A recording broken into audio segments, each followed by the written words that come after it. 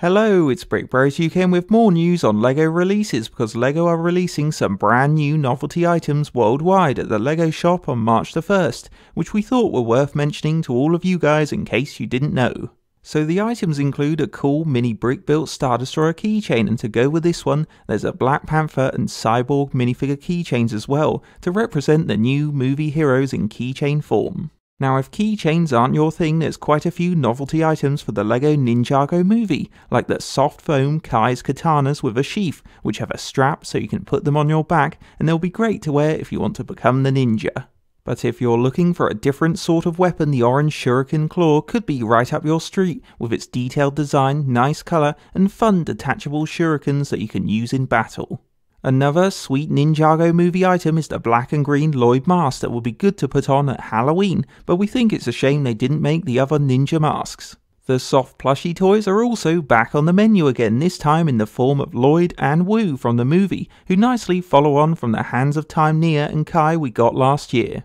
And if you can't get enough of all the Sons of Garmadon season sets, they have a Spinjitzu stunt ramp for your spinners. That's an item we can see being quite popular because it will be super fun to launch the spinning ninja up the 12cm ramp and send them flying into battle, which is a play feature you could share with your friends. Then last up, the final novelty item coming out is a customizable phone cover that will fit on iPhone 6, 6S or 7 and you can use the 47 studs they provide to make your own mosaic design for your phone or you could copy the fish, lighthouse and rocket designs they made to keep a little bit of LEGO with you on the go. So that's all the new LEGO novelty items hitting the LEGO shop stores in March which as you've just seen offer something for everyone, especially if you're a fan who loves all things LEGO. And if we had to pick our favourites, we'd go for the plushy soft toys and Spinjitzu stunt ramp, but that's just our choice, so please feel free to leave a comment below telling us what items are your favourites, as we'd love to know. Hope you enjoyed a Brick Bros UK LEGO news update, and don't forget to check our channel for the latest LEGO news and like,